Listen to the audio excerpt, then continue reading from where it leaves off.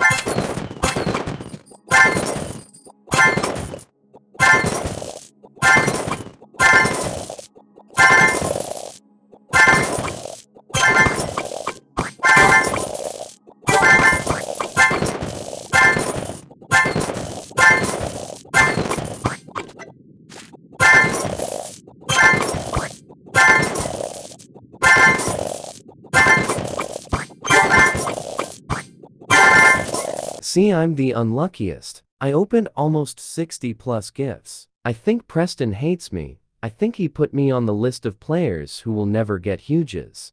Like Brew.